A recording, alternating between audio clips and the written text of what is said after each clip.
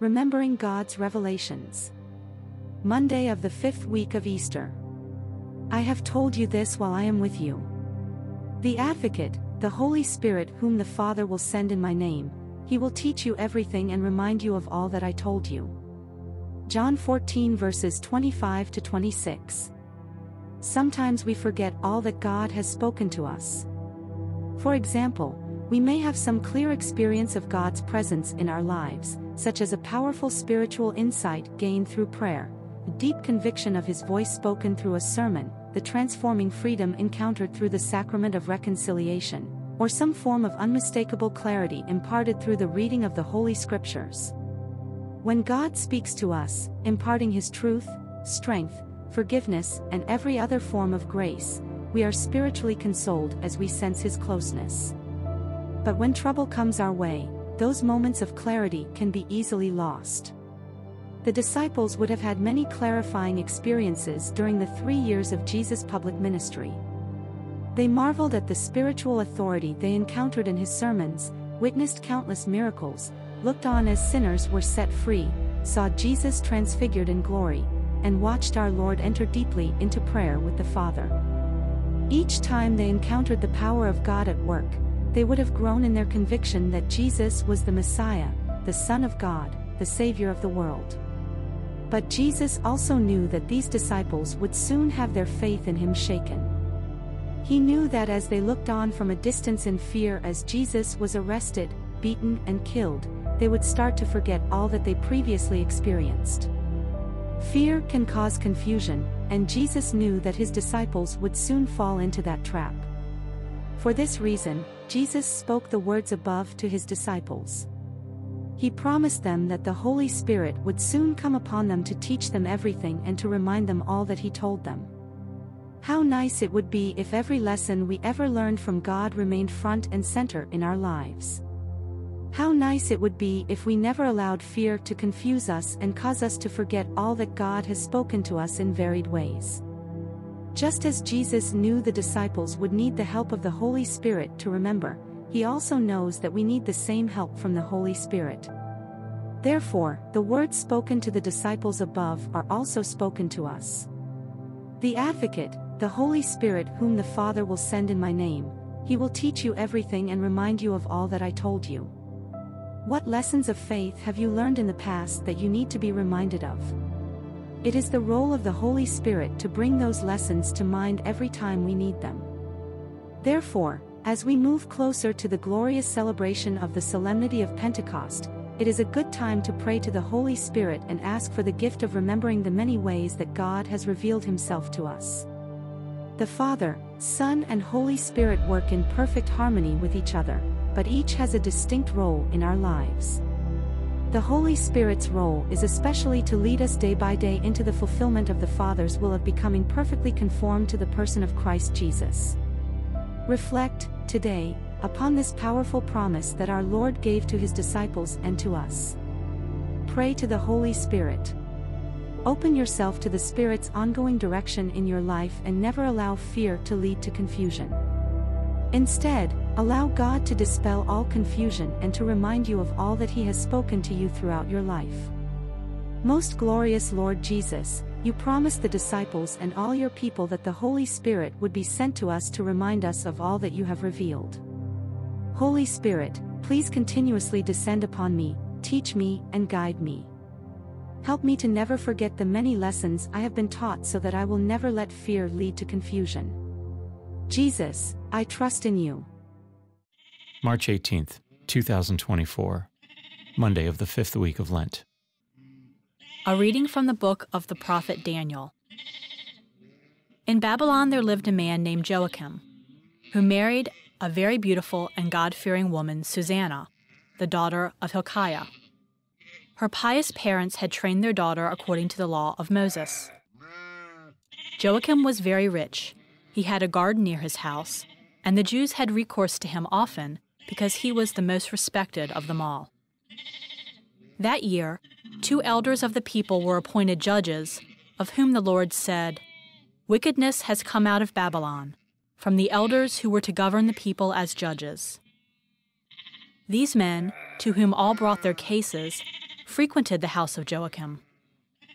When the people left at noon, Susanna used to enter her husband's garden for a walk. When the old men saw her enter every day for her walk, they began to lust for her. They suppressed their consciences, they would not allow their eyes to look to heaven, and did not keep in mind just judgments. One day, while they were waiting for the right moment, she entered the garden as usual, with two maids only. She decided to bathe, for the weather was warm. Nobody else was there except the two elders, who had hidden themselves and were watching her. Bring me oil and soap, she said to the maids, and shut the garden doors while I bathe.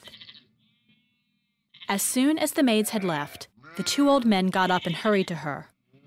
Look, they said, the garden doors are shut and no one can see us.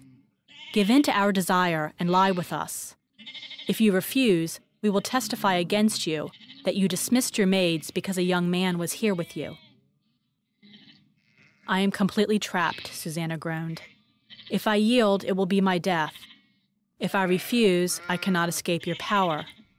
Yet it is better for me to fall into your power without guilt than to sin before the Lord. Then Susanna shrieked, and the old men also shouted at her, as one of them ran to open the garden doors. When the people in the house heard the cries from the garden, they rushed in by the side gate to see what had happened to her. At the accusations by the old men, the servants felt very much ashamed, for never had any such thing been said about Susanna.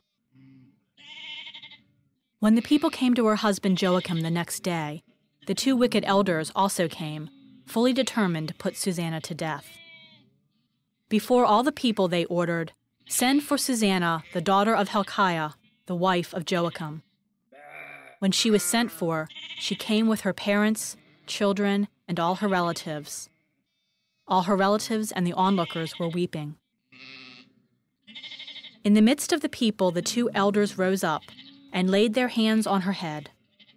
Through tears, she looked up to heaven, for she trusted in the Lord wholeheartedly. The elders made this accusation As we were walking in the garden alone, this woman entered with two girls and shut the doors of the garden, dismissing the girls. A young man who was hidden there came and lay with her. When we, in a corner of the garden, saw this crime, we ran toward them. We saw them lying together, but the man we could not hold, because he was stronger than we. He opened the doors and ran off. Then we seized her and asked who the young man was, but she refused to tell us. We testified to this. The assembly believed them, since they were elders and judges of the people, and they condemned her to death. But Susanna cried aloud, O eternal God, you know what is hidden and are aware of all things before they come to be. You know that they have testified falsely against me. Here I am about to die, though I have done none of the things with which these wicked men have charged me. The Lord heard her prayer as she was being led to execution, God stirred up the Holy Spirit of a young boy named Daniel, and he cried aloud, I will have no part in the death of this woman. All the people turned and asked him, What is this you are saying? He stood in their midst and continued, Are you such fools, O children of Israel, to condemn a woman of Israel without examination and without clear evidence? Return to court, for they have testified falsely against her. Then all the people returned in haste. To Daniel the elders said, Come, sit with us and inform us, since God has given you the prestige of old age. But he replied, Separate these two far from each other, that I may examine them. After they were separated one from the other, he called one of them and said, How you have grown evil with age. Now have your past sins come to term passing unjust sentences, condemning the innocent, and freeing the guilty, although the Lord says, The innocent and the just you shall not put to death. Now then, if you were a witness, tell me under what tree you saw them together. Under a mastic tree, he answered. Daniel replied, Your fine lie has cost you your head, for the angel of God shall receive the sentence from him and split you in two. Putting him to one side, he ordered the other one to be brought. Daniel said to him, Offspring of Canaan, not of Judah, beauty has seduced you.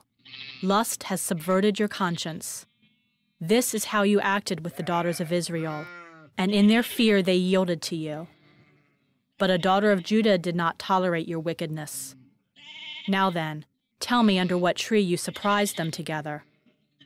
Under an oak, he said. Daniel replied, Your fine lie has cost you also your head, for the angel of God waits with a sword to cut you in two, so as to make an end of you both. The whole assembly cried aloud, blessing God who saves those who hope in him. They rose up against the two elders, for by their own words Daniel had convicted them of perjury. According to the law of Moses, they inflicted on them the penalty they had plotted to impose on their neighbor. They put them to death. Thus was innocent blood spared that day. The word of the Lord. The responsorial psalm. The response is Even though I walk in the dark valley, I fear no evil, for you are at my side. The Lord is my shepherd, I shall not want. In verdant pastures, he gives me repose. Beside restful waters, he leads me. He refreshes my soul. Even though I walk in the dark valley, I fear no evil, for you are at my side. He guides me in right paths for his name's sake. Even though I walk in the dark valley, I fear no evil, for you are at my side with your rod and your staff that give me courage. Even though I walk in the dark valley, I fear no evil, for you are at my side. You spread the table before me in the sight of my foes. You anoint my head with oil, my cup overflows. Even though I walk in the dark valley, I fear no evil, for you are at my side. Only goodness and kindness follow me all the days of my life and I shall dwell in the house of the Lord for years to come. Even though I walk in the dark valley, I fear no evil, for you are at my side.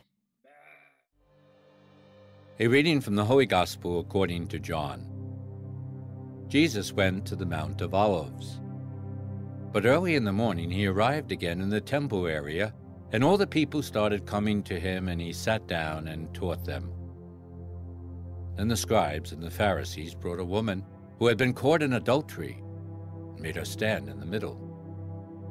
They said to him, Teacher, this woman was caught in the very act of committing adultery.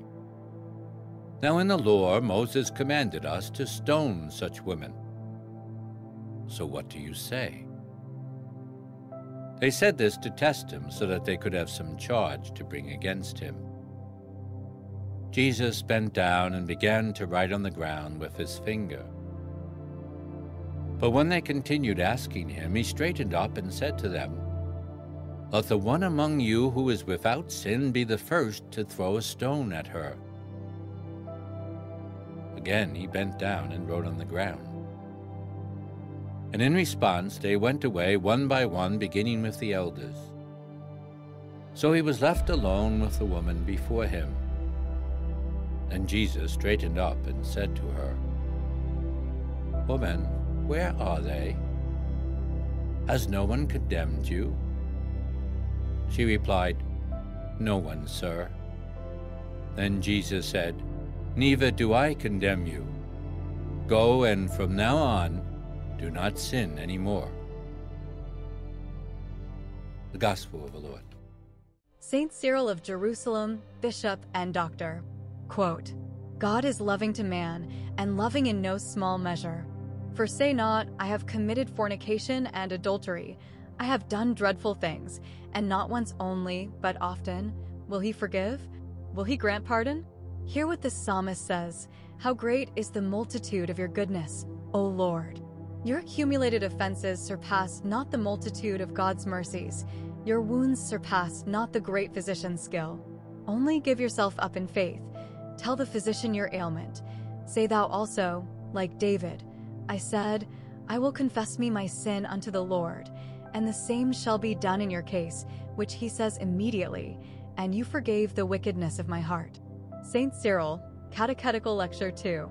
Reflection When Constantine the Great legalized Christianity throughout the Roman Empire in the year 313, many were hopeful that the sufferings Christians had endured during the first few centuries of the Church had finally come to an end.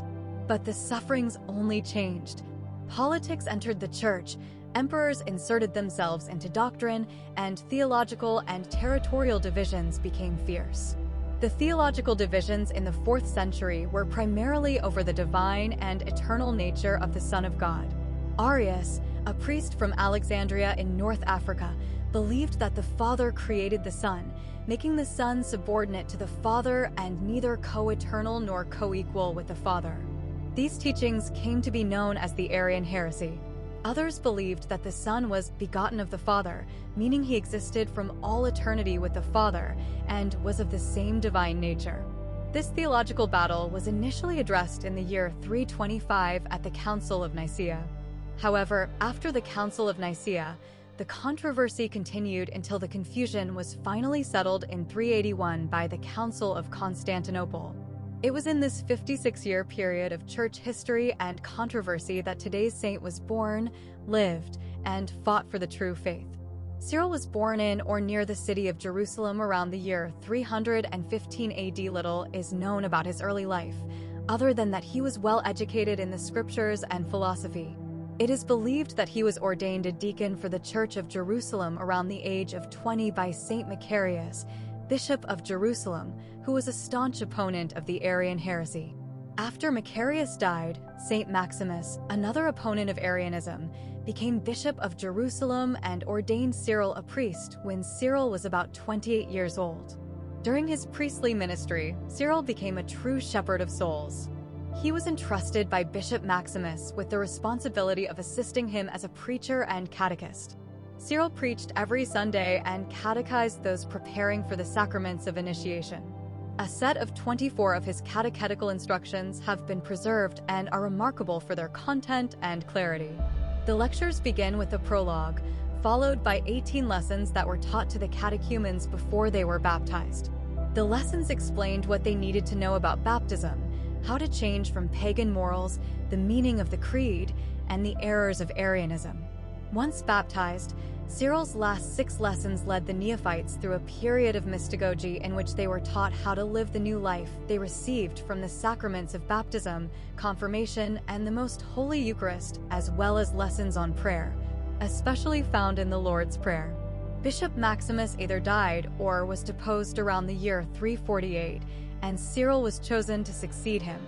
He was ordained a bishop by Archbishop Acacius of Caesarea Maritima from the metropolitan see just west of Jerusalem. Archbishop Acacius was sympathetic to Arianism, so he and others might have believed that Cyril was also sympathetic to Arianism, which he was not. Soon after becoming the Bishop of Jerusalem, a miraculous sign, visible to all, appeared over the holy site of Jesus' crucifixion.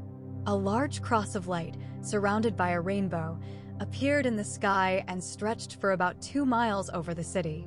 This sign was initially perceived as God's affirmation of Bishop Cyril, but might have also been a sign of the suffering Cyril would soon endure. The suffering began as Cyril fought Acacius on two fronts. Bishop Cyril claimed the right of independent governance from Acacius in the See of Jerusalem. He also opposed the Arian heresy that Acacius taught.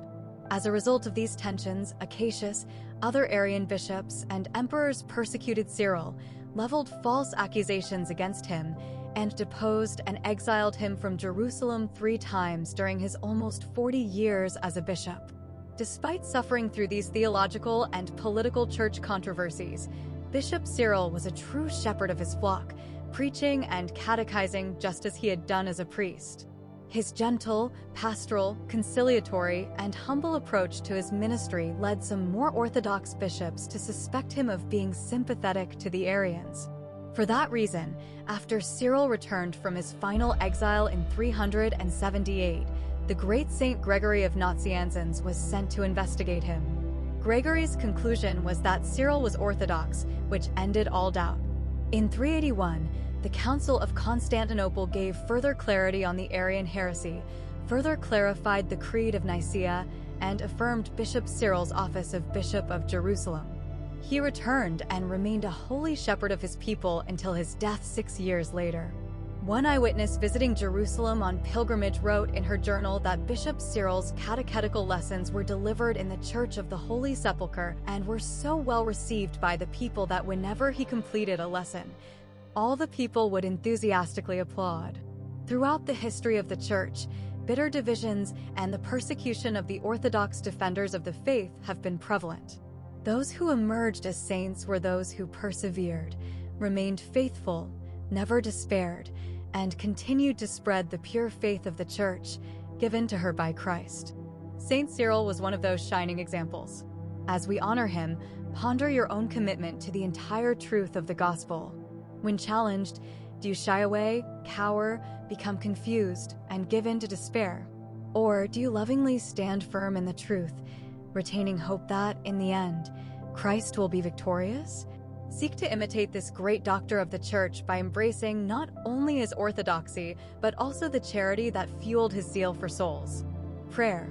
Saint Cyril, you are a loving shepherd and a firm defender of the truth of the divinity of Christ. You never wavered in your mission, not even during persecution and exile, but proclaimed Christ Jesus to your flock. Please pray for me that I will always remain firm in my faith, especially when challenged by a hostile world, and will lovingly proclaim the truth to those who need it most. Saint Cyril of Jerusalem, pray for me. Jesus, I trust in you.